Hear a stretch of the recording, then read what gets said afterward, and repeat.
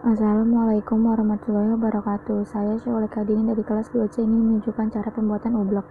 Alat dan bahan yang diperlukan 1. Pewarna makanan, tepung sagu, wadah, dan air.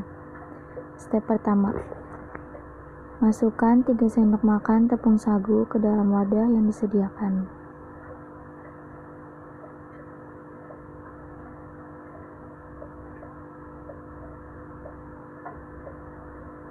Step kedua, masukkan 4 sendok makan air ke dalam wadah yang berisi tepung sagu.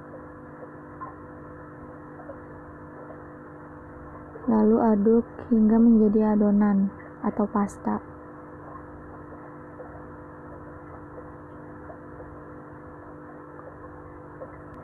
Setelah tercampur rata, masukkan pewarna makanan secukupnya.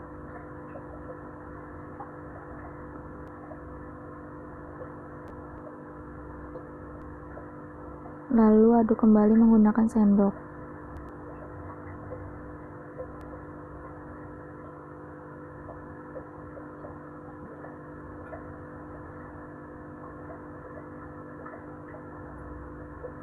Jika dirasa sudah cukup menggunakan sendok, boleh menggunakan tangan. Dan ublek pun siap dimainkan. Sekian dari saya, kurang lebihnya mohon maaf. Wassalamualaikum warahmatullahi wabarakatuh.